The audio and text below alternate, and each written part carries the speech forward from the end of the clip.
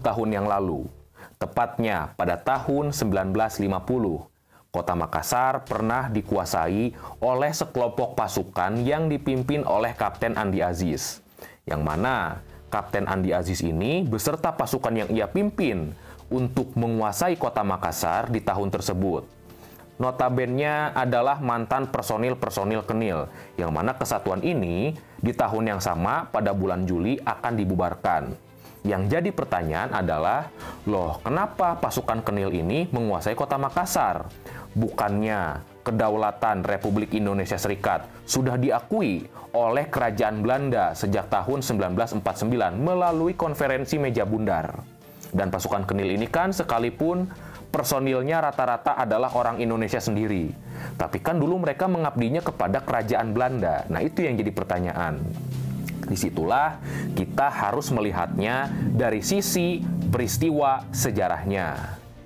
Jadi, pada tanggal 5 April tahun 1950, terjadi sebuah peristiwa pemberontakan di Sulawesi Selatan, yang mana peristiwa pemberontakan ini dalam sejarah Indonesia disebut sebagai peristiwa pemberontakan Andi Aziz, karena memang inilah figur utama dalam pemberontakan itu. Loh, kenapa pemberontakan ini bisa sampai terjadi? Maka kita harus lihat dulu latar belakangnya dari segi politik. Memang pada tahun 1950 itu adalah puncak konflik politik antara golongan unitaris dengan golongan federal. Yang mana golongan unitaris ini menghendaki agar Indonesia kembali menjadi negara kesatuan atau kita kenalnya sekarang dengan nama Negara Kesatuan Republik Indonesia Serikat yang terpusat. Sedangkan golongan federalis menginginkan agar bentuk negara serikat, RIS, itu tetap dipertahankan. Jangan sampai bubar negara-negara bagiannya. Yang satu golongan unitaris menganggap bahwa pengakuan kedaulatan Indonesia dalam bentuk negara serikat itu adalah siasatnya Belanda agar negara-negara bagian yang ada di dalam RIS ya di antaranya ada Republik Indonesia, ada negara Pasundan, ada negara Indonesia Timur, ada negara Madura, ada negara Sumatera Selatan dan sebagainya itu adalah negara-negara boneka Belanda menurut golongan unitaris. Sedangkan bagi golongan federalis meskipun apa meskipun tidak semuanya berasumsi seperti itu. Mereka menganggap bahwa justru sistem federasi inilah yang cocok diterapkan di Indonesia, mengingat Indonesia wilayahnya luas, penduduknya beragam, potensinya juga beragam, apa potensi alam maksudnya ya, di, beragam di masing-masing wilayah. Maka yang cocok adalah bentuk negara federal. Dan tadi sudah saya sebutkan bahwa ini memuncak pada tahun 1950 ketika tuntutan untuk kembali menjadi negara kesatuan itu semakin meningkat. Dan memang di tahun yang sama, tanggal 17 Agustus 1950 memang RIS kembali menjadi Republik Indonesia. Dan tentu konflik kepentingan antara golongan unitaris dengan golongan federalis ini juga akan merembet kepada konflik-konflik bersenjata. Nah, khusus untuk peristiwa pemberontakan Andi Aziz, nah di sini golongan unitaris yang ada di Makassar, berarti di sini dia adalah bagian dari negara Indonesia Timur, meminta kepada pemerintah pusat RIS yang ada di Jakarta melalui Menteri Pertahanan Sultan Hamengkubuwono ke-9 untuk mengirimkan pasukan APRIS dari unsur TNI dari Jawa untuk didatangkan ke Sulawesi Selatan, tepatnya di kota Makassar. Dan akhirnya petinggi-petinggi APRIS pun sepakat untuk mengirimkan pasukan Worang. Kenapa pasukan Worang dinamakannya? Karena memang dipimpin oleh Mayor Victor Hein Worang. Ya, yang kurang lebih personilnya sekitar atau antara 900 sampai 1000 personil. Kalau misalkan kita rujuk ke salah satu artikel yang ada di majalah Historia, nanti kalian bisa akses sendiri dan saya berikan linknya di deskripsi. Nah, tentu didatangkannya pasukan APRIS dari unsur TNI ke kota Makassar ini pasti ditentang oleh golongan federalis. Kenapa? Yang pertama, tentu ini akan semakin memperkuat, apa, memperkuat golongan e, unitaris yang pro republik, ya. Kemudian yang kedua, ini tentu akan semakin mengancam keberadaan negara Indonesia Timur yang ada di ambang pembubaran. Karena tadi e, tuntutan untuk kembali menjadi negara kesatuan itu semakin meningkat pada awal tahun 1950. Dan di saat yang bersamaan pun di kalangan militer, nah jadi kalian harus tahu bahwa di saat itu ada militer APRIS dari golongan TNI yang dulunya berarti dia adalah sudah sejak awal TNI. Ada dari golongan Kenil atau ada yang tetap di Kenil tapi tidak masuk APRIS. Bahkan banyak masih tentara Belanda pun yang belum sepenuhnya kembali ke negeri Belanda, ya. Nah, di saat yang bersamaan di kalangan militer pun di mantan-mantan personil APRIS yang saat itu sedang menuju transisi menjadi personil APRIS digabungkan dengan TNI dalam satu kesatuan yang sama.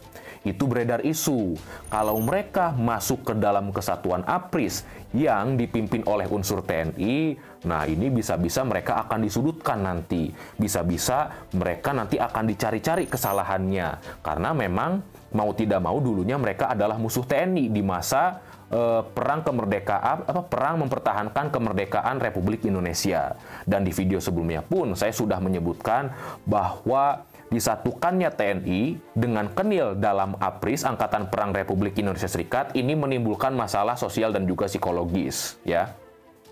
Nah, menanggapi situasi ini tentu pasukan Kenil menolak pula didatangkannya pasukan Worang ini ke kota Makassar. Makanya mereka mengadakan rapat besar pada tanggal 3 April di tahun yang sama. Yang mana rapat besar ini, sebentar ya saya cek kamera dulu karena ini ngerekam sendiri. Oke, 3 menit. Nah, yang mana e, didatangkannya pasukan Worang ini, oh bukan pasukan Worang, di mana rapat besar ini eh, yang disebut sebagai panitia persiapan peralihan kenil ke APRIS yang disingkat P3K kalau saya salah nanti saya tunjukkan di dalam bentuk tulisan ya. Mengeluarkan sebuah mosi yang mana mosinya berisi. Yang pertama mereka menginginkan agar dialihkannya. Pasukan kenil menjadi personil APRIS itu harus atas dasar kesukarelaan. Itu yang pertama.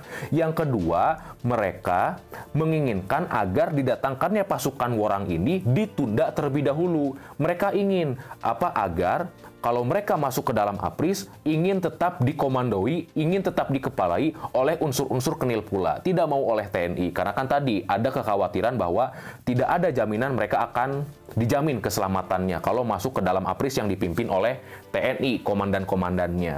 Dan tentu, ya, di antara personil-personil kenil ini, di antara perwira-perwiranya, yang cukup berpengaruh saat itu adalah Kapten Andi Aziz. Jadi, pangkat terakhirnya di Kenil adalah letnan, tetapi ketika dia menjadi personil APRIS, ya, pangkatnya menjadi kapten. Dia adalah perwira Kenil yang cukup berpengaruh. Dilihat dari pengalaman-pengalamannya dan juga pasukan yang ia pimpin, pasukan Kenil, itu adalah pasukan Kenil yang dianggap cukup tangguh bahkan banyak dari mantan pasukannya yang nanti oleh Ahmad Yani direkrut menjadi pasukan Banteng Rider ya kurang lebih demikian singkat ceritanya bahkan Andi Aziz pun mengatakan buat apa didatangkan pasukan TNI ke Makassar Toh pasukan ex Kenil yang ada di Makassar pun kan sudah menjadi personil APRIS dan bisa menjaga keamanan yang ada di Sulawesi Selatan. Kurang lebih uh, Andi Aziz mengatakan demikian. Dan esok harinya pada tanggal 4 April tahun 1950 ya, dengan ancaman yang ada didatangkannya pasukan Worang. Andi Aziz dipanggil oleh Soumukil. Jadi singkat cerita nanti untuk video berikutnya, Soumukil ini nantinya akan menjadi pimpinan pemberontakan Republik Maluku Selatan yang memberontak kepada Republik Indonesia. Di sini Andi Aziz dipanggil ke tempatnya Soumukil dan Soumukil pun di situ juga dikawal oleh pasukan-pasukan Kenil dari Ambon yang mana mereka meyakinkan kepada Andi Aziz bahwa mereka siap tempur kalau misalkan pasukan Worang tetap dipaksakan mendarat di kota Makassar. Itulah yang meyakinkan Andi Aziz bersama pasukannya untuk melakukan sebuah pemberontakan merebut kota Makassar. Dan memang pasukan-pasukan dari Andi Aziz ini ketika pemberontakan meletus itu menempatkan pasukannya di tempat-tempat strategis di kota Makassar. Mereka siap menembak kedatangan pasukan Werang. Nah, dari sini bisa kita simpulkan kan bahwa sebab-sebab terjadinya pemberontakan Andi Aziz di antaranya yang pertama, yaitu didatangkannya pasukan Werang ke kota Makassar. Yang kedua, yaitu pertentangan antara golongan unitaris dengan golongan federalis di dalam negara Indonesia Timur. Dan yang ketiga, yaitu beredarnya isu bahwa pasukan Kenil yang masuk ke dalam kesatuan APRIS nantinya akan disudutkan karirnya. Padahal kan mereka di zaman masih berdinas di Kenil, sekalipun mereka seumur hidup pangkatnya tidak akan menjadi perwira tinggi, perwira apa atas, tetapi kan karirnya dijamin, gajinya pun juga terjamin. Pemberontakan pun pada akhirnya meletus pada tanggal 5 April tahun 1950 yang mana pemberontakan ini diawali dengan aksi penangkapan terhadap kepala tentara dan teritorium APRIS di negara Indonesia Timur, yaitu namanya eh, Ahmad Yusuf Mokoginta, yang mana setelah ditangkap ia dijadikan sebagai sandera atau tawanan. Tetapi justru Andi Aziz malah mengatakan demikian, Had spite me, overste, mar ik mohet dun. Saya menyesal, komandan, saya terpaksa melakukannya. Karena bagaimanapun Andi Aziz pun sebetulnya sudah masuk menjadi personil APRIS, makanya Moko Ginta sebetulnya adalah atasannya sendiri. Nah, tidak hanya menculik Moko Ginta, pasukan-pasukan yang dipimpin oleh Andi Aziz ini juga menguasai dan menduduki posisi-posisi strategis yang ada di kota Makassar. Mereka bersiaga di tempat-tempat itu untuk menyambut ke, apa, kedatangan pasukan Worang dan juga pasukan tambahan dari RIS. Dan mereka juga dilengkapi dengan senjata-senjata berat, senjata-senjata mesin, kendaraan-kendaraan lapis baja yang mereka rampas dari e, tentara kerajaan Belanda. Termasuk mereka juga dibantu dengan pesawat pembom B-25 Michel, ya. Menanggapi situasi ini, menanggapi aksi yang dilakukan Andi Aziz dengan pasukan-pasukannya, maka pada tanggal 7 April uh, pemerintah pusat RI segera mengirimkan pasukan yang dipimpin oleh Alex Kawilarang untuk merebut kembali kota Makassar. Kurang lebih pasukan ini berjumlahkan sekitar 12.000 personil. Dan keesokan harinya, pemerintah pusat RIS pun mengultimatum kepada Andi Aziz untuk segera melaporkan tindakannya, mempertanggungjawabkan tindakannya ke Jakarta selambat-lambatnya atau maksimal 2 kali 24 jam ia juga harus mengkonsinyir pasukannya, mengembalikan senjata-senjata rampasan, termasuk mengembalikan sandra atau tawanan yang ia tahan.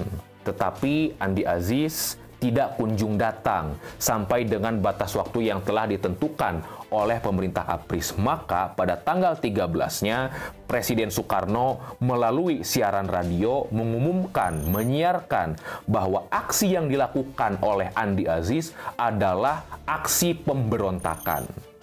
Makanya, melihat kondisi yang sudah semakin tidak berpihak kepada Andi Aziz dan juga pasukan-pasukannya, maka pada tanggal 14-nya Andi Aziz memutuskan untuk justru menyerahkan diri ya ke Mokoginta dan ia berangkat ke Jakarta. Tetapi di Jakarta ya ia justru ditangkap dan langsung ditahan. Tapi tidak sampai di situ. Keesokan harinya ya ketegangan justru tetap berlangsung di kota Makassar. Terjadi pertempuran hebat antara pasukan APRIS dari unsur TNI ya dengan mantan personil Kenil di Kota Makassar pada tanggal 15 Agustus apa pada tanggal 15 April dan juga 5 Agustusnya. Tetapi pertempuran hebat ini pada akhirnya dimenangkan oleh pasukan April dari apa dari April lagi pasukan Apris dari unsur TNI dan pasukan Kenil berhasil diusir dari Kota Makassar. Nah, ini kan menimbulkan pertanyaan, kenapa Andi Aziz justru memilih untuk menyerahkan diri kepada Moko Ginta dan berangkat ke Jakarta yang berujung kepada penangkapan dirinya. Ketika pasukan yang ia pimpin untuk aksi pemberontakan itu belum dikalahkan dan belum kelihatan hasilnya apakah mereka akan kalah atau menang. Nah, di sini mungkin kalau saya coba tafsirkan dan mengutip dari salah satu tulisan yang ditulis oleh Patrick Matanasi. Jadi Patrick Matanasi ini adalah salah seorang penulis sejarah yang fokus kepada sejarah ketentaraan yang ada di Indonesia. Nah, di sini ia mengatakan bahwa justru mental perwiranya lah yang mendorong dirinya untuk mengakui kesalahannya dan bertanggung jawab sepenuhnya. Ya dan bahkan ia mengaku kepada Alex Kawilarang bahwa saat itu ia sudah tidak bisa lagi mengendalikan emosi pasukan-pasukannya karena kan memang saat itu sudah terlanjur beredar isu bahwa mantan personil Kenil yang masuk APRIS akan dicari-cari kesalahannya dan juga disudutkan. Belum lagi ia juga buta politik terhadap kondisi konflik pertentangan antara apa namanya golongan unitaris dengan golongan federalis. Berarti kan tidak menutup kemungkinan ia dimanfaatkan dan juga terhasut oleh orang-orang yang tidak bertanggung jawab saat itu. Ya kurang lebih seperti itu ya kondisinya. Nah, kurang lebih mungkin ini saja yang bisa saya sampaikan. Kalau misalkan kalian ingin membaca lebih lanjut tentang pemberontakan Andi Aziz ini, nah di apa ya? Di deskripsi akan saya kasih linknya dari mana sumber-sumber bacaan yang saya gunakan untuk apa ya menyampaikan topik pemberontakan Andi Aziz di dalam video apa video ini. Saya ucapkan terima kasih, sampai jumpa, merdeka.